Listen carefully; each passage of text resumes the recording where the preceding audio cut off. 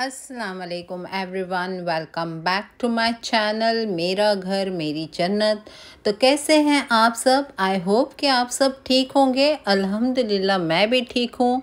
काफ़ी दिनों से मैं वीडियो अपलोड नहीं कर पा रही थी। इसकी बहुत ही कोई बड़ी वजह थी, जो मैं कभी आप लोगों के साथ में फिर शेयर करूँगी। बट आज से मेरा वैकेशन स्टार्ट हो गया एग्ज़ाम ख़त्म हो गए तो आज से मैंने सोचा है कि आप लोगों के साथ में मैं डेली रूटीन की जो मेरी वीडियो है ना, वो आप लोगों के साथ में ज़रूर शेयर करूँगी।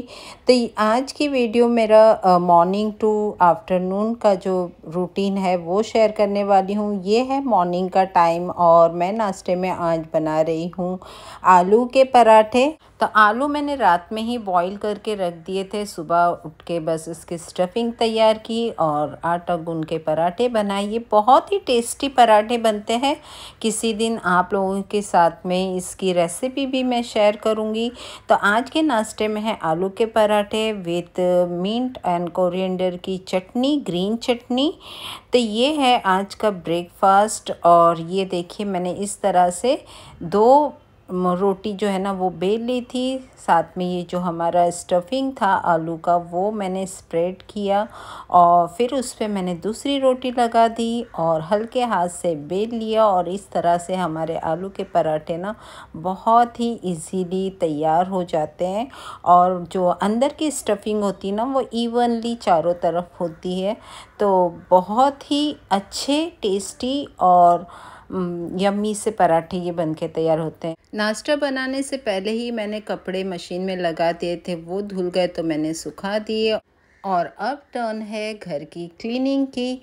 तो बस ये जो डस्टिंग है ना, ये तो हमारा पीछा कभी नहीं छोड़ती। तो इसे हल्का फुल्का हर तरफ़ से हाथ फिरा देना बहुत ज़रूरी होता है। वरना फिर ये है ना, बहुत ज़्यादा जो है ना, डस्टिंग क्रिएट हो जाती है घर में। तो आज क्योंकि फुर्सत में थी मैं तो मैंने सोचा कि हर एक चीज़ पे थोड़ा सा गीला कपड़ा मैं फिरा लेती हूँ ताकि अच्छी तरह से ना डस्टिंग गायब हो जाए मेरे घर से। और साथ में ही हमारी मॉपिंग भी हो गई और सारा घर हमारा हो गया क्लीन। और अब कर लेते हैं किचन की सफ़ाई। किचन तो क्लीन ही है बट नाश्ता बनने के बाद थोड़ा बहुत किचन जो डिस्टर्ब हो जाता है, उसे सेटअप करना बहुत ज़रूरी है, ताकि हम आराम से, है ना लंच की तैयारी कर सकें। तो यहाँ पे किचन सेट हो चुका है, सारी घर की क्लीनिंग हो चुकी है।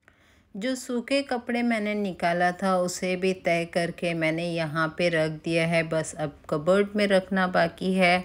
लिविंग रूम भी अच्छी तरह से सेट हो चुका है और यहाँ पे है ना, ये डाइनिंग टेबल पे जो आपको थैली नज़र आ रही है तो ये ग्रॉसरी की कुछ आइटम है जो मुझे अभी रखना बाकी है। वही है दो तीन पैकेट वो रख लूँगी मैं।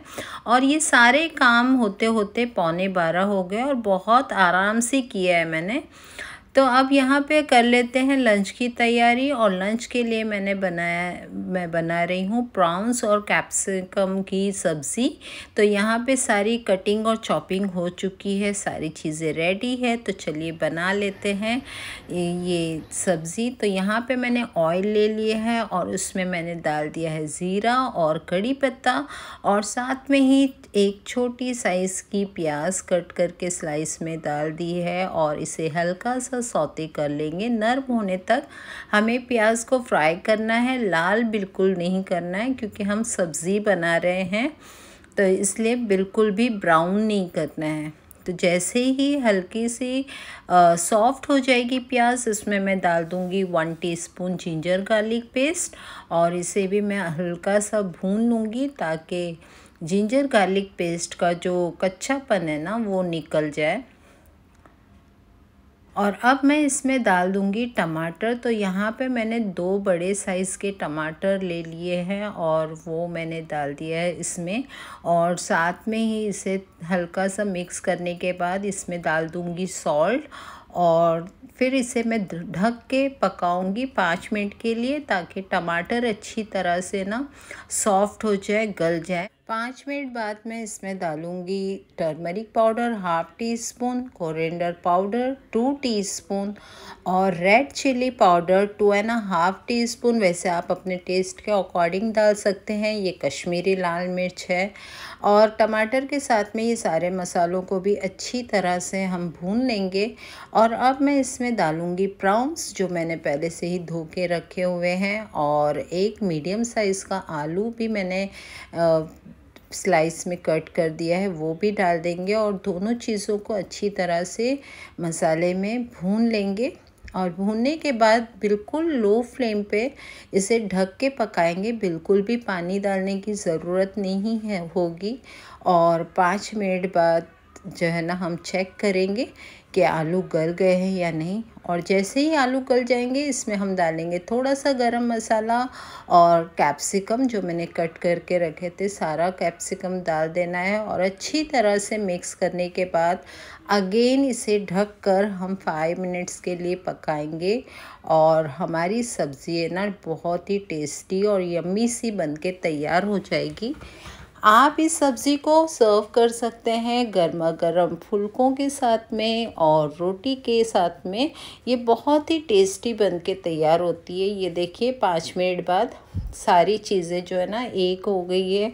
सब्ज़ी भी गल गई है, आलू भी गल गए हैं प्रॉन्स भी मसाले में अच्छी तरह से मिक्स हो गए हैं।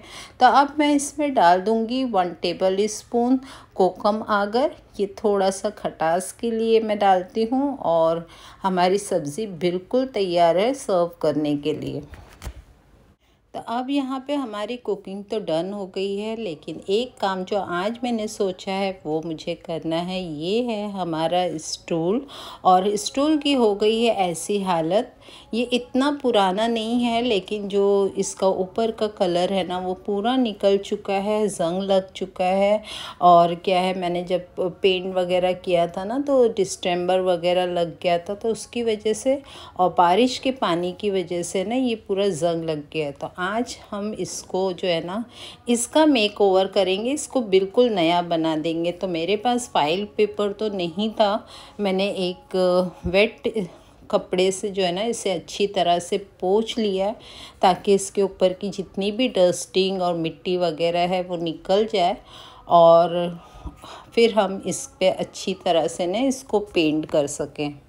तो यहाँ पे मैंने ये डार्क ब्राउन जैसे कैडबरी का कलर होता है ना बिल्कुल वैसे ही मैंने डार्क ब्राउन कलर लिया है ये इसको पेंट करने के लिए तो बस इसे अच्छी तरह से मिक्स कर रही हूँ। ये दिखाई दे रहा है आपको कलर? तो पहले मैंने सोचा था कि वाइट कलर में लगाऊँ, लेकिन फिर मुझको लगा कि ये स्टूल जो है ना, मैं बाहर गैलरी में रखती हूँ। तो धूप लगने की वजह से और डस्टिंग की वजह से वो जो वाइट कलर है, वो बहुत जल्दी गंदा हो जाएगा। तो इससे बेटर है कि कोई डार्क कलर लगाऊँ। इसका ओरिजिनल कलर जो था, वो ब्लैक था। तो मुझको थोड़ा सा उसमें चेंज करना था तो मैंने ये वाला कलर लिया और बस इसे कलर जो है मिक्स करने के बाद मैंने एक कोट लगा दिया। और ये देखिए, जैसे ही मैंने इसे अप्लाई किया ना तो ये पूरा कितना क्लीन और नीट दिख रहा है।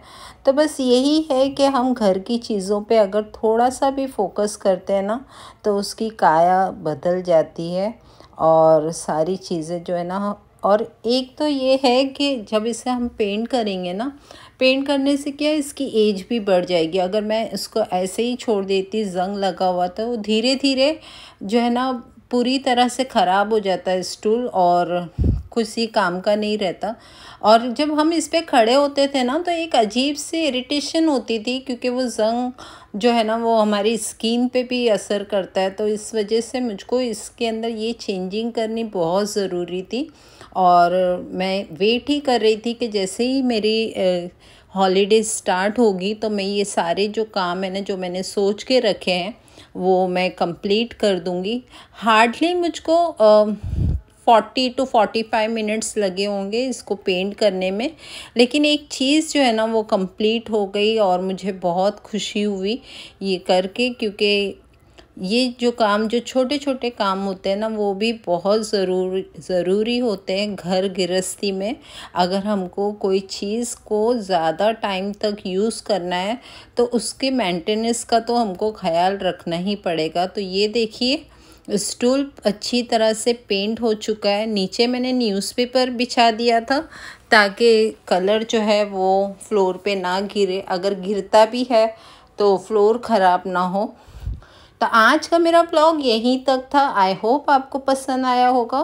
पसंद आया है तो लाइक शेयर और सब्सक्राइब ज़रूर कर दीजिएगा।